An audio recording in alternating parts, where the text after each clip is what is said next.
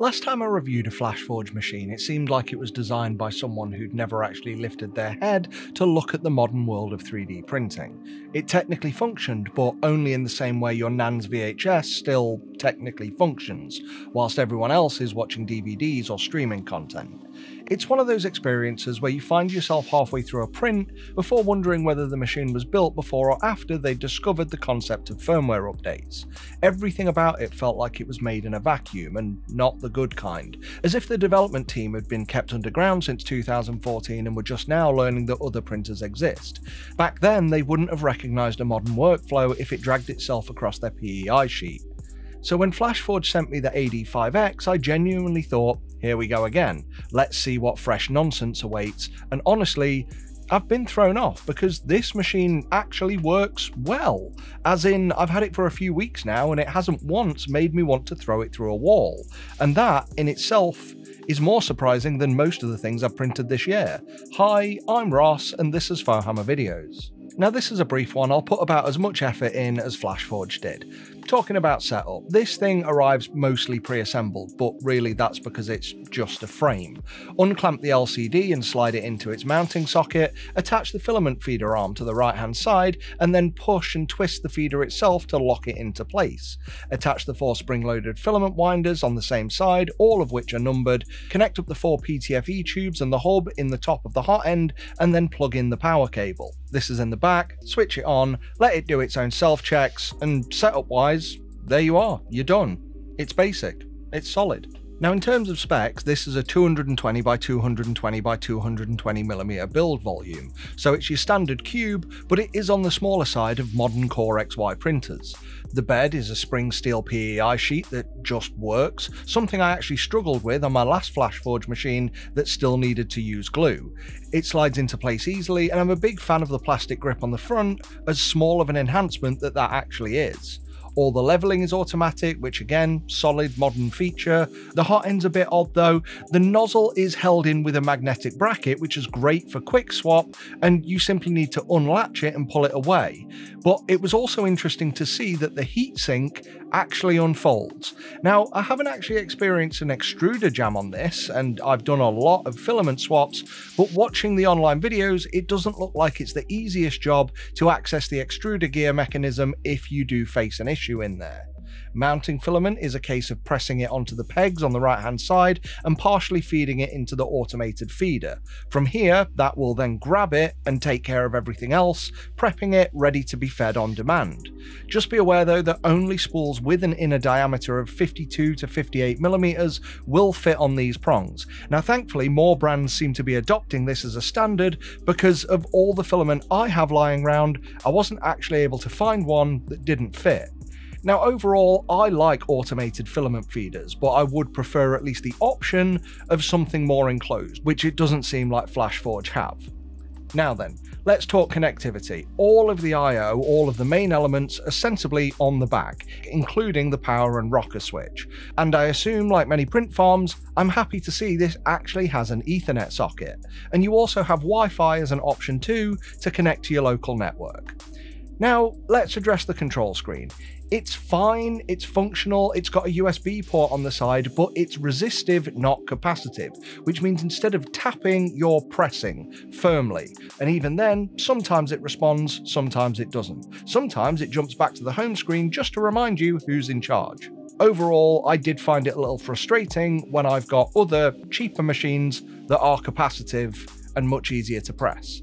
Now menu layout is simple, it's easy to find what you're after because there's not much here. It's nothing flashy. It's clearly using the same skin as every other modern printer, it works, there's just no innovation or advancement here either. And when loading filament, you can select both the colour and material type in each slot in order to sync that back to the slicer.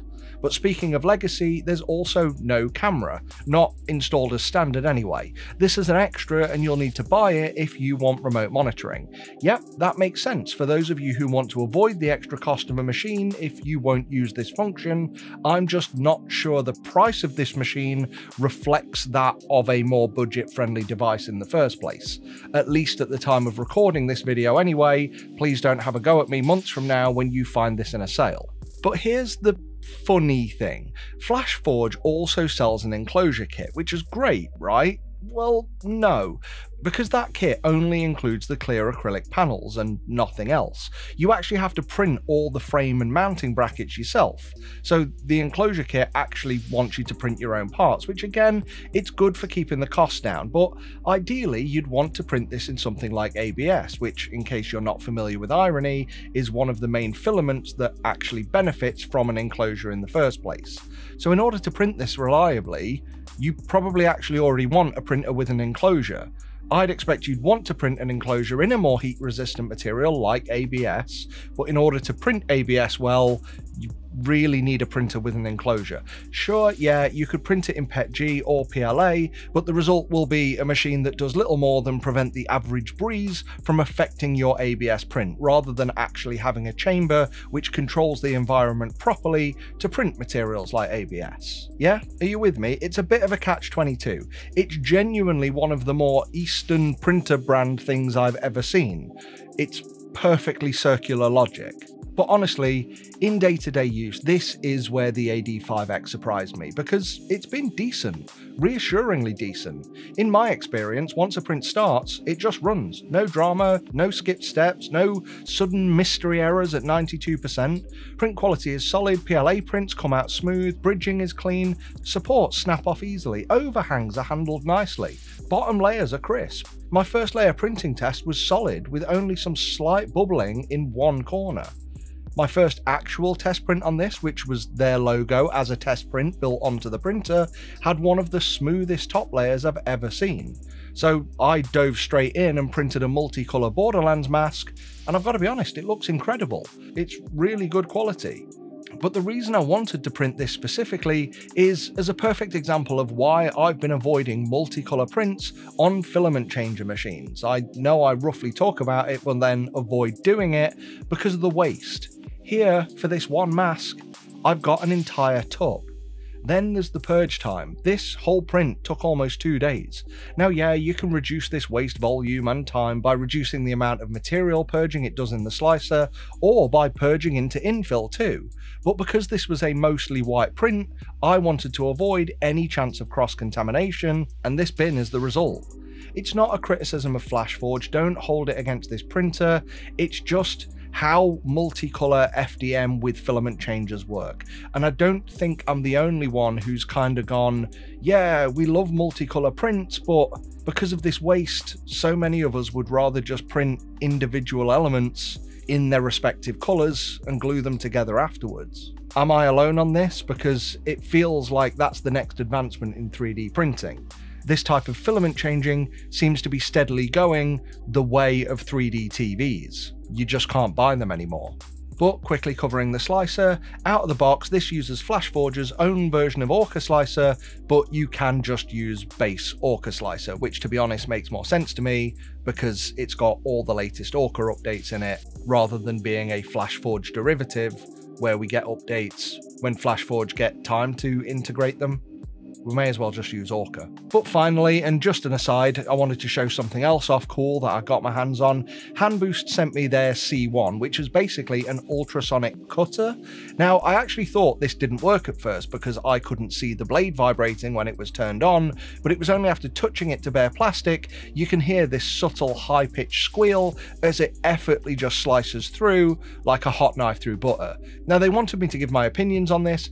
I'll be honest, it's a little heavy due to the battery and mechanics, which, well, it stops it being super comfortable to hold. And yeah, it's a little bit unwieldy, but once you get used to it, it is incredibly handy to have. Probably as handy as it is dangerous. So yeah, if you grab one, be careful when using it. I'll put a link in the description, but I absolutely love mine. But yeah, final thoughts on the machine. There's not really much here. The FlashForge Adventurer AD5X is a great machine, but it seems built by a company that still behaves like it's the only company making 3D printers they're just blind to what the competition are doing in terms of features and price. It is like it was designed in a bubble, one where other brands doing the same thing, either better or cheaper, don't exist, one where including a camera would be a revolutionary act or a new UI means changing the font.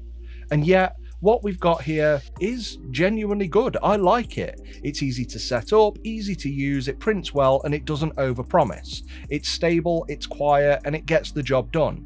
Yeah, it's not exciting, it's not trend setting, but it seems dependable, and that makes it perfect for people who are perhaps tired of flashy gimmicks or just want a solid printer that doesn't give them anxiety. It's the kind of printer you buy because you don't want to support the big flashy brands with their weird policies. You know who I mean. But you also don't want to drop into the bargain bin lottery with budget brands either. It is middle tier in a good way, mediocre but perfectly so. A reliable workhorse, just with the face of a pensioner who still calls the internet the web. Now, if this is what you're after, grab one. I would appreciate it if you use my affiliate links in the description before making a purchase. I'll net a commission at no cost to you when you do that, and that's how I can afford to run the channel. I want to say thanks for watching. Big love to the members. Your names are on screen now. You legends are another reason I keep this going. Please, if you're watching, consider joining up if you want early access, bonus content, Discord roles, or your name in lights, or all of it. So please do that, or don't. I won't cry. Probably. At least not if you bother doing the like and subscribe thing. Thanks again for watching. Until next time, they're in their own little world. FauxHammer out.